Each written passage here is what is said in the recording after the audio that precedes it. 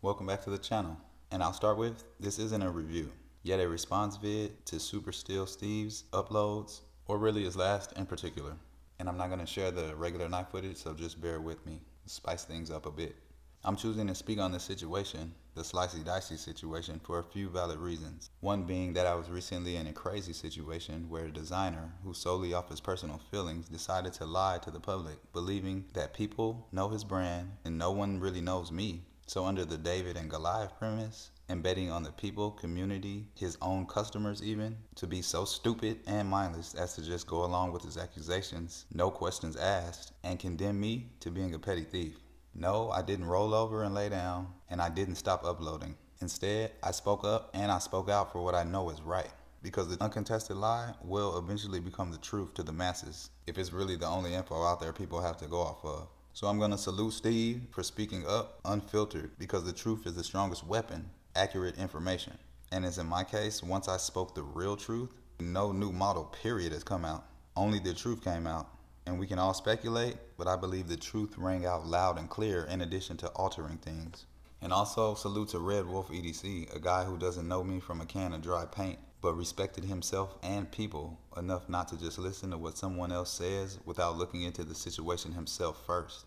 And exactly what Steve spoke about halfsies, that maker would only tell a little of the truth. And I say that because these lies still affect me and my channel. Last week, the Sky Guy, known from Metal Complex, Amazing channel, by the way, and this has nothing to do with MC at all. So all respect to him. But that Scott character, I found him on Instagram and offered to buy a knife from him that I wanted.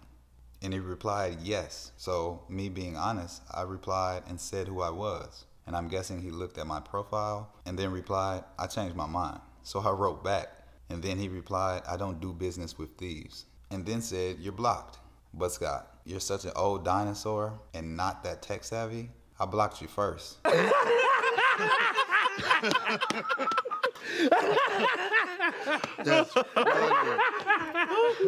Weirdo. But pause, pause for a minute.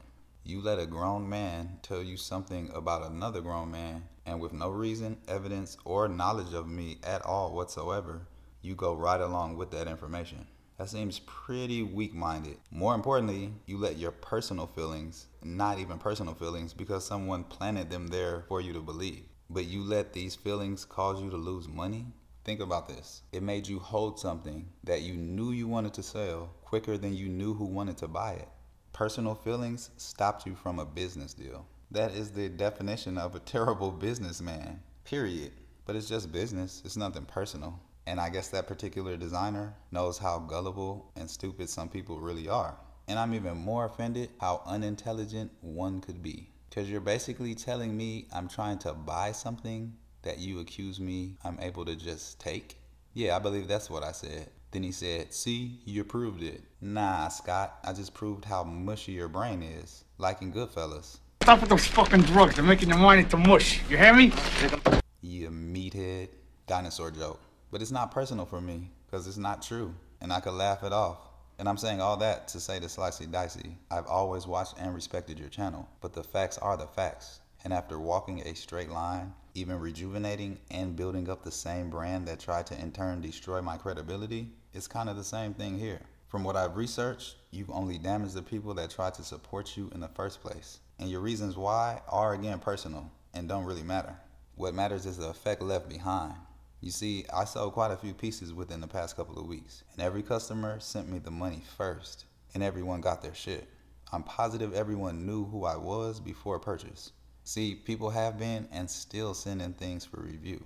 The point I'm trying to make is the community is for the most part untainted, and I'm speaking to the consumer side of things. Built on borrow, buy, and trade, not barter.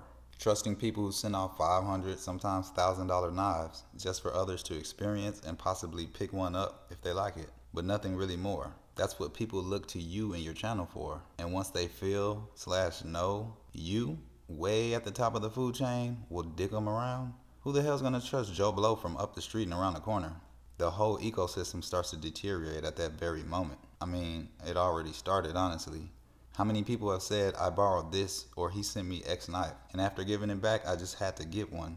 And then that person becomes a lifetime customer of that brand, in turn influencing his buddies to the same brand. What about the sponsors, companies and makers who now say, if Slicey will do it, I'm not issuing any more units to channels. The lower guy on the totem pole gets the shiv. Channels that can't afford to buy all the knives or contents but fall into your weight. It's all bad from every aspect. And really, it's not about you or your channel. There's no chicken or egg question here. Although you can influence, the people are in control. The community provides the numbers that give you the keys to unlock the doors between the corporation and the community. So while you can cause damage, the public can destroy you by just not showing back up. And I think everyone should understand who really holds the power in the situation. And just as I asked of that designer, I'll ask from you the complete and total truth. Just once. Not for anything other than the community to not take this massive hit. Everyone's not going to agree on one side, and that split will draw a line between the people. So you can simply erase that same line with the complete truth. And what I mean by truth is like if you already sold something or you can't get it back or it's gone, just say that and then people can't keep inquiring about it. Which as you see it will come out either way. Only difference will be do you own it by fully claiming it or does it own you by more and more negative shit surfacing every time you put a positive foot forward. And I really hope you don't just disappear and lay low leaving the followers to fight the good fight for you. Because I believe my situation made a lot more people unwilling to be just used as pawns and swallow anything put out. My appreciation goes out to the people who stand up to whoever it is that's wrong, no matter what the odds look like. And also to those who feel like someone lying to them isn't saying anything more than I think you are a plumb idiot. And I can tell you whatever the fuck I want because I'm smarter than you.